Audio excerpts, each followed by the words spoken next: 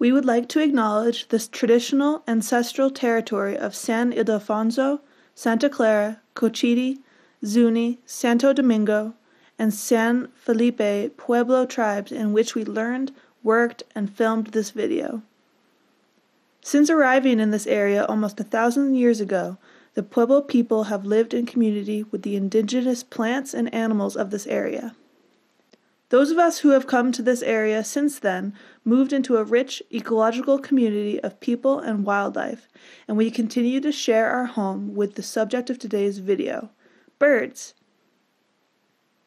Have you seen birds flying around near your house? Have you noticed that some birds, like hummingbirds, only seem to be around during the summer? Do you ever wonder where they go when they're not in your neighborhood? Join us as we learn more about our flying feathered neighbors through bird banding. This is one of our volunteer bird banders, Bob, with a Cooper's hawk we caught this season. Bob is an avid birder and looks for exciting species all over the world. He became a part of Bandelier National Monument's banding crew after he volunteered with the school groups who come to visit our site. Do you see the band on the hawk's leg? We put that band on it after we caught the hawk in our net. Each metal band has a unique nine digit code etched into it. If someone captures this hawk again in the future, they'll be able to look up the number through the National Bird Banding Lab and find out when and where it was banded, along with the measurements and observations that we made.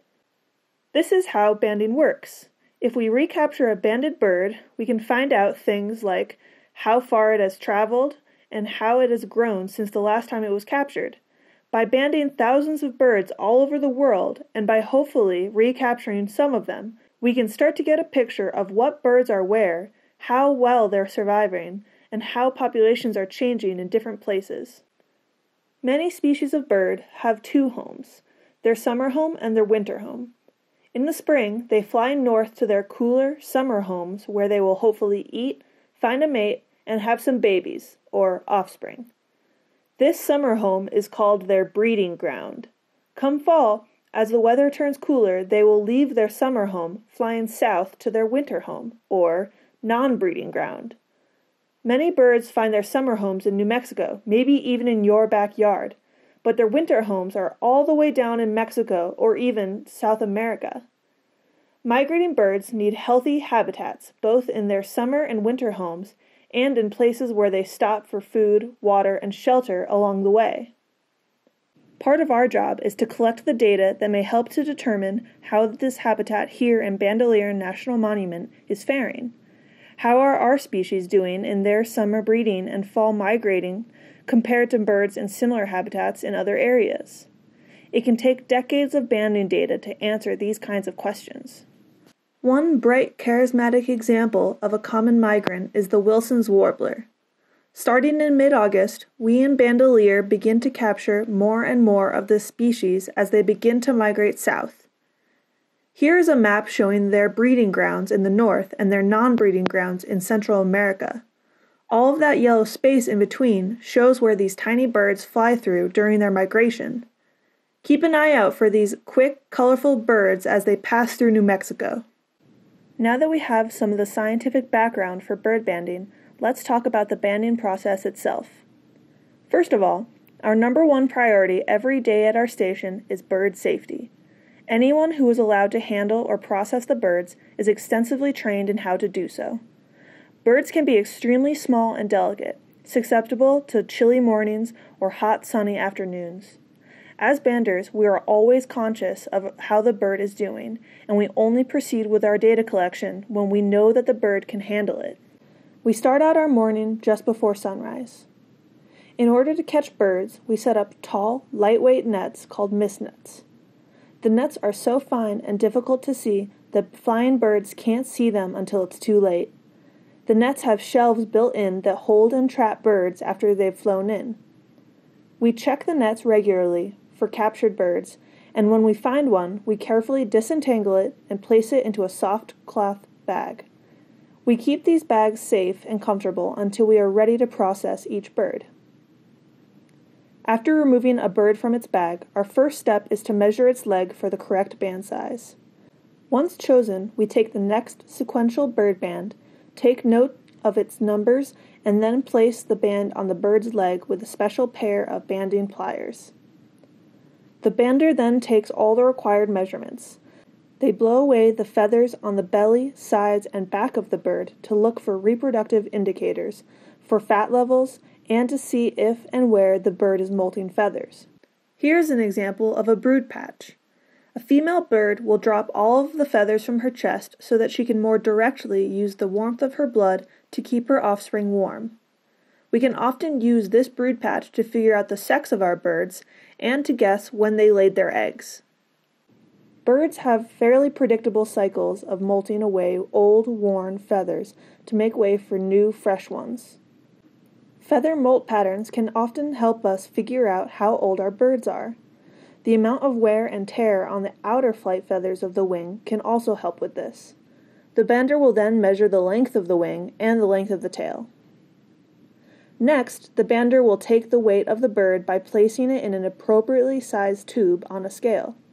Some of our smallest birds, such as kinglets, weigh as little as six or seven grams. That is about as much as a penny and a nickel in the palm of your hand.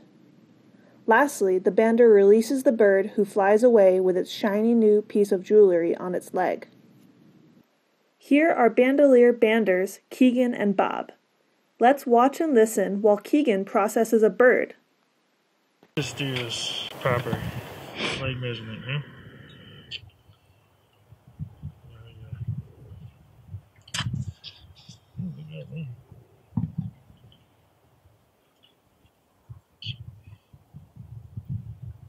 That one would be just fine.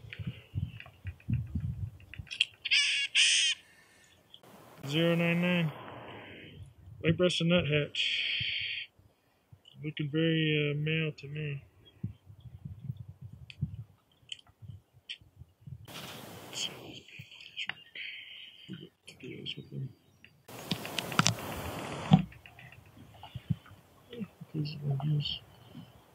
must be the uh, ones that did not close.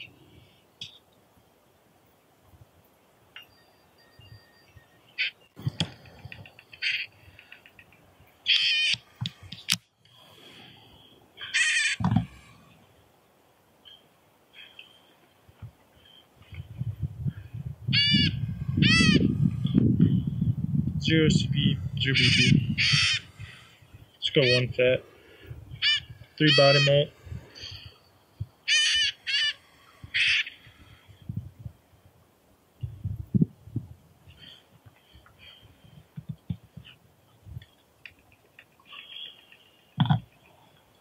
No flight feather molt.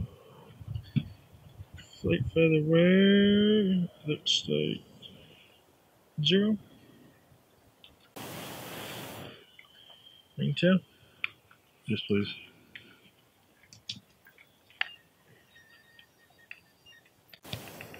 Wing is 89. Tail is 46.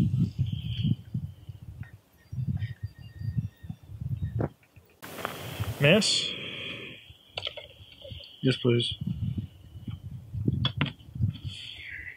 Let's give me another two. Do you have my good 1B? Gotta steal that. Bob's away.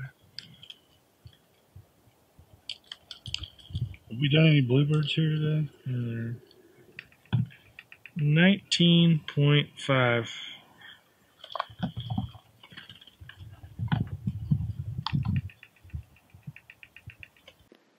And that is bird banding.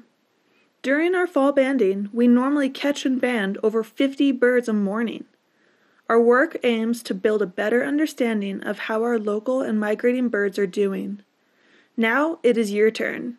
When you can, get outside, look around, and listen. Once you start to pay attention to these wonderful neighbors, you will see that they are everywhere you go.